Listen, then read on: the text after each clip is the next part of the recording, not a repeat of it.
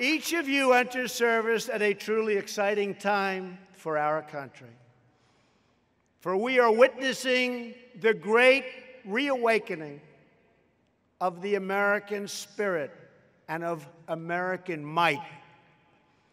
We have rediscovered our identity, regained our stride, and we're proud again. Prosperity is booming at home. Our economy is the strongest it's ever been. And our country has regained the respect that we used to have long ago abroad. Yes, they're respecting us again. Yes, America is back.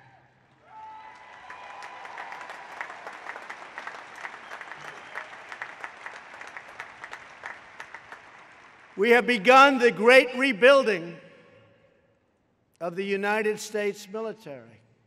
We have ended the disastrous defense sequester. No money for the military, those days are over.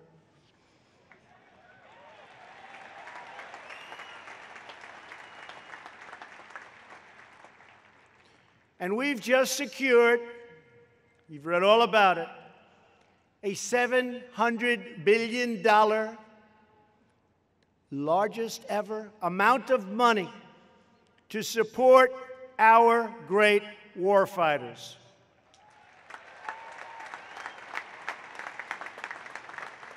And I might add that next year, the 700 billion, not million, they're liking the sound of million, but billion's better.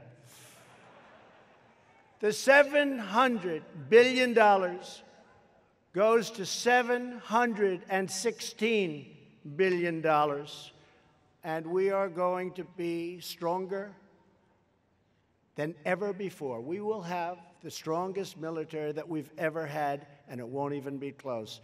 And when did we need it more than now? And this is our pledge. We are all in for America like never before. We are all in for our great country.